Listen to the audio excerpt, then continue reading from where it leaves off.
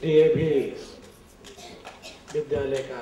संचालक समिति का अध्यक्ष अनिल खेडियाजी यहाँ उपस्थित हुनुभएका सम्पूर्ण विशिष्ट व्यक्तित्वहरू, अतिथि महानुभावहरू, अभिभावकहरू, शिक्षक, शिक्षिकाहरू, विद्यार्थी भाइ बहिनीहरू काठमाडौँमा उपत्यकाभित्र यस्तो भव्य हल छ भन्ने कुरा त मलाई जानकारी नै थिएन।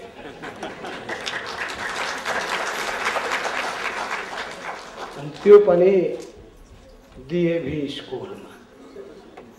जुन डिएभी हाम्रो शङ्कर केडियासँग केडिया परिवारसँग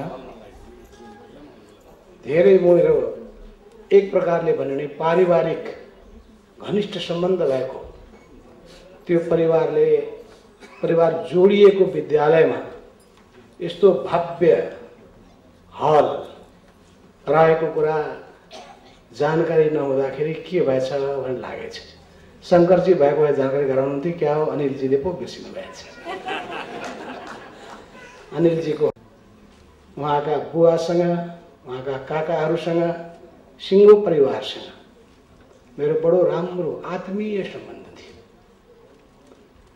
आज यस्तो वातावरणभित्र यहाँको परिवेश यहाँको वातावरण यहाँको शीतलता यस्तो छ भने यहाँ कलाकारहरूले देखाउने भोलिको अहिलेको कला यहाँको नाटक नाटकमा अभिनय प्रस्तुति झन् कस्तो होला भन्ने कुराको अनुमान गर्न सकिन्छ।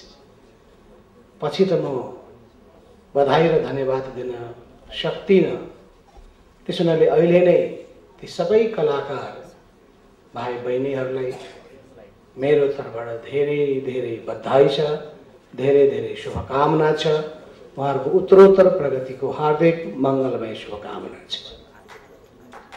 कलाकारहरूलाई मात्रै होइन तपाईँहरू सबैलाई पनि धेरै शुभकामना छ।